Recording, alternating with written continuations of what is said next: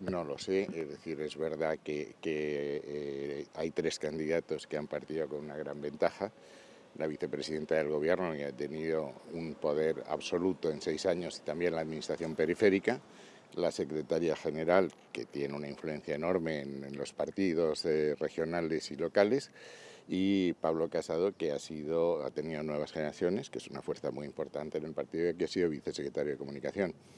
Pero yo creo que este es un congreso en que los feligreses no van a seguir a los párrocos, van a votar lo que, lo que quieran. Por eso yo he insistido tanto en que a mí me convenía, cuanto más militantes mejor, porque son precisamente los militantes que más distanciados han sentido de la dirección, los que quieren un cambio más radical y más, eh, más rápido, y unos candidatos más informados porque yo tengo un programa escrito y los otros candidatos no, y me hubiese gustado confrontarlos. Pero en fin, las cosas están como están y hay que jugar el partido. Yo no sé lo que van a votar los 68.000 militantes.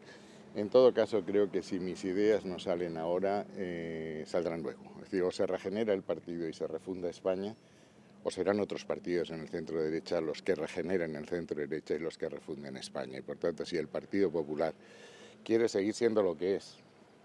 Es el primer partido de España, tiene que renovarse y tiene que llamar a esa enorme cantidad de talento que una vez estuvo con nosotros y que ahora no está.